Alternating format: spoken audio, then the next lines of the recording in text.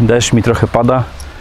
Nie wiem przy której stanąć, czy przy tej, czy przy tamtej, ale w moim przypadku nie ma to wielkiego znaczenia, dlatego że ja jestem na starych zasadach, ale jak jest na nowych zasadach yy, i jaki się nowy problem pojawił, o tym w dzisiejszym odcinku. Zapraszam Was serdecznie, a teraz zapraszam na małą reklamę.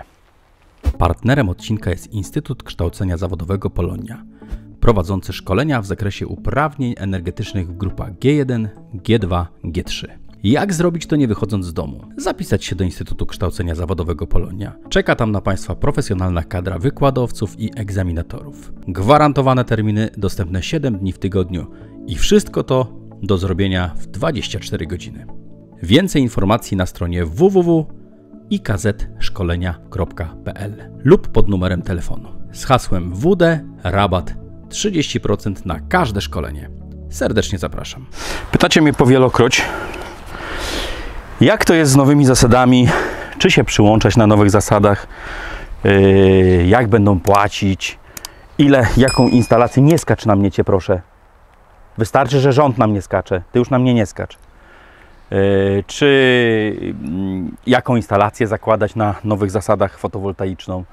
Yy, powiem Wam tak, mnóstwo jest niejasności, mnóstwo jest yy, sytuacji takich, których ciężko Wam odpowiedzieć na to pytanie. Jedno na pewno jest pewne.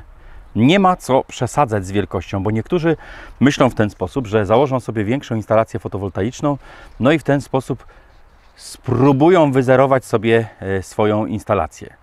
Mam tutaj takie papierki, które dostałem od jednego z naszych widzów, od, od dwoj, dwoj, dwójki widzów yy, małżeństwa, który, z którym się spotkaliśmy też na targach w Kielcach. Bardzo Was serdecznie pozdrawiam. Sytuacja jest z yy, Tauronu ale to jest dokładnie to samo w innych i tutaj chciałbym, żeby oczywiście yy, nawiązała się dyskusja przy okazji tej, yy, tego, tego tematu, który dzisiaj chcę poruszyć. No ale dobra, przejdźmy najpierw do yy, sprawy, czyli tak, jaką instalację montować, czy montować sobie większą instalację, bo wiecie o tym, że na nowych zasadach działa to w ten sposób, że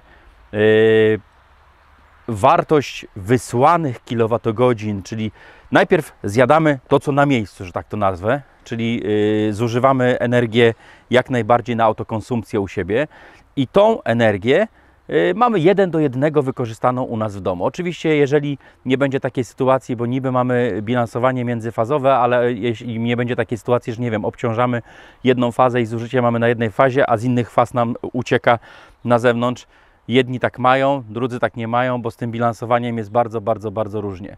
Yy, a to, co wyślemy, jest nam przeliczane na złotóweczki, które są wyliczone. Ja Wam coś pokażę tutaj, bo mam tutaj taki papierek, w którym jest pokazane, w jaki sposób są wyliczane. Prawdopodobnie dam Wam przebitkę.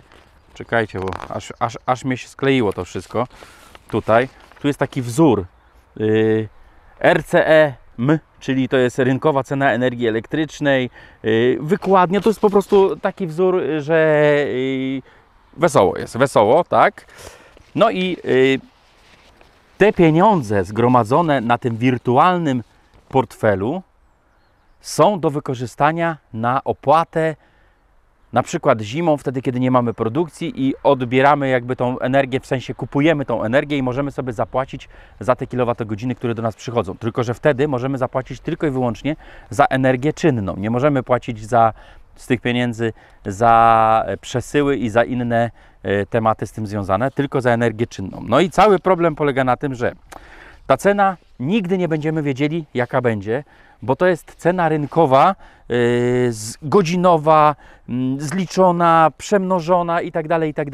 Więc zasadniczo, ile Wam powiedzą, że niby wyszło, tyle Wam będą po prostu płacili. Póki co, podobno jest nieźle. Podobno jest nieźle, płacą nawet nieźle, ze względu na to, że być może jest jakaś taka zachęta. Teraz wchodzi prąd 5.0, w którym to yy, mają wejść również pompy ciepła, solary i inne rzeczy. Ja bym chciał o tym zrobić następny materiał, yy, najbliższy jakiś materiał, który tutaj zrobię. Mm, bo tutaj też mam pewne obawy z tym związane, czy na pewno jeżeli na przykład, yy, ale to wiecie co, nie będziemy tego poruszać. Yy, reasumując, w czym jest największy problem w tym temacie? Problem polega na tym, E, Ludzie dostali aneksy e, z, e, chociażby w Tauronie, w którym jest taka sytuacja. W przypadku, gdy w ramach rozliczenia, w którym mowa w ustawie pierwszej i ustawie drugiej powyżej, klient nie wykorzysta zgromadzonych dla jednego miesiąca kalendarzowego środków odpowiadających wartości energii elektrycznej wprowadzonej do sieci OSD, w tym miesiącu, w okresie 12 kolejnych miesięcy kalendarzowych, to niewykorzystane środki stanowią nadpłatę, która jest zwracana klientowi przez sprzedawcę w terminie nie dłuższym niż do końca 13 miesiąca następującego po danym miesiącu. Wysokość zwracanej nadpłaty i teraz uwaga, nie może przekroczyć 20% wartości energii elektrycznej wprowadzonej do sieci w, miejsc, y, w miesiącu kalendarzowym, którego dotyczy zwrot nadpłaty. To jest jedna rzecz. Yy, Chciałbym, żebyście to jakoś mi zinterpretowali. A druga rzecz, która jest jeszcze ciekawsza, po upływie 12 miesięcy od dnia przepisania yy, dane kwoty środków, yy, poczekajcie, spokojnie, po upływie 12 miesięcy od dnia przepisania danej kwoty środków do depozytu prosumenckiego, środki niewykorzystane lub niezwrócone na podstawie y, czwartego artykułu ustawy 15, bla, bla, aneks podlegają umorzeniu. Jedno drugiemu troszeczkę zaprzecza. I jeszcze jeden e, wpisik, tylko nie mogę go w tej chwili e, znaleźć już, już, już. Być może to tu było. W sensie, że jakby, bo nie rozumiem tego. Czyli wychodzi na to, że jeżeli mamy zbyt dużą instalację fotowoltaiczną, to jeżeli nie wykorzystamy tej energii w ciągu 12 miesięcy, wróć tych pieniędzy zgromadzonych na naszym koncie prosumenckim, dzisiaj mi pada deszcz, nie wykorzystamy, to wtedy rozumiem, że one nam przepadają albo zwracane są o 20% mniej. Nie bardzo to rozumiem, nie wiem o co tutaj chodzi, dlatego chciałbym, żebyśmy tutaj e, w tej chwili zrobili dyskusję, w której sobie to wszystko yy, omówimy. Bardzo Was o to proszę. No i bardzo Was proszę, tych, którzy już podostawali na zasadach prosumenckich, chociaż to będzie na tych nowych zasadach prosumenckich, czyli na netbillingu y, faktury, żeby podesłali mi jakąś fakturę, żeby mógł sobie troszeczkę się zorientować, jak wygląda ta faktura, co tam się dzieje, za co płacą, ile płacą, kiedy płacą i tak dalej, i tak dalej. Czyli póki co raczej byłbym za tym, żeby y, instalację fotowoltaiczną dopasowywać do wielkości naszych zużyć, na zasadzie takiej, żeby w przyszłym roku, czyli jeżeli do końca roku yy, nie wykorzystamy sobie tych swoich pieniędzy, to żeby na przykład styczniowe już się rozliczały w styczniu następnego roku, no bo po prostu Wam to przepadnie i to będzie totalnym bezsensem, żebyście mieli więcej.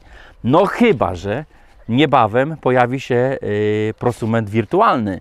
Ciekawe jak on będzie rozliczany, czyli to taki prosument, który będzie działał na różnych yy, lokalizacjach Waszych, czyli macie na przykład, nie wiem, dom, z, inaczej, działkę z fotowoltaiką gdzieś tam sobie na wsi, a w mieście możecie wykorzystywać, płacić rachunki w swoim bloku na przykład. No to to byłoby rozsądne, bo wtedy faktycznie jesteśmy w stanie sobie mniej więcej wyliczyć, no bo to, to nie jest trudne, żeby wyliczyć, ile y, instalacja fotowoltaiczna jest nam w stanie wyprodukować. Jeśli jest na południe i uśredniając średnią, średnią lokalizację w Polsce, no to możemy założyć, że około 1000 kWh z 1 kW y, instalacji jesteśmy w stanie wyprodukować.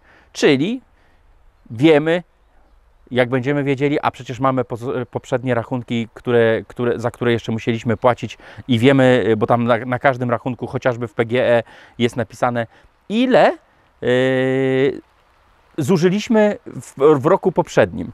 Więc jesteśmy w stanie określić, ile zużywamy, jesteśmy w stanie określić mniej więcej, kiedy to zużywamy, bo jeżeli mamy na przykład yy, załączone mm, niedługo będziemy widzieli, niedługo będziemy widzieli to w y, prosumencie, wróć, w systemie ym, operatora, w jakich godzinach, y, w jakie miesiące, w jakie dni, w miesiące, dni to już jesteśmy w stanie to sprawdzić, no to wiemy, jaką instalację możemy sobie założyć, żeby y, nie przekroczyć, a żeby zużyć tą energię, czyli opłacić sobie energię czynną w tych pozostałych miejscach. Bardzo Was proszę o dużo komentarzy z tym związanych, jeżeli macie większą wiedzę, a myślę, że jest bardzo dużo osób takich, które ma większą wiedzę na ten temat, to po prostu piszcie, bo jestem bardzo ciekawy, czy myśmy to tutaj dobrze zinterpretowali i zrozumieli, czy nie.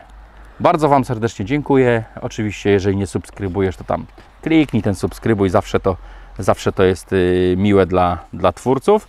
No i oczywiście zapraszam na kolejne odcinki.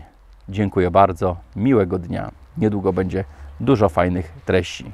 Również takich testów, które y, przyszły mi tutaj różne rzeczy na testy i będę chciał Wam je też pokazać. Niedługo wiosna idzie. Rower mam kolejny do wytestowania. Jak już będę miał dwa rowery, to może schudnę. Dzięki bardzo, miłego dnia, cześć. Mam nadzieję, że chociaż dzisiaj świeci słońce. Nie tak jak u mnie, bo dzisiaj produkcja będzie oporowa. Te. A ja takie rzeczy dzisiaj muszę robić. Nie wiem, czy widzicie te plamki. Pojawiły mi się po zimie takie tematy i muszę to, że tak powiem, trochę poprzesiewać trawą, chociaż, chociaż pani twierdziła, żeby to zostawić, że to samo zarośnie. E, W sensie mówię pani ta, która mi sprzedawała tą trawę z rolki, żeby się tym nie przejmować, ale ja mówię, a lepiej parę ziarenek więcej wsypać i będzie po prostu szybciej.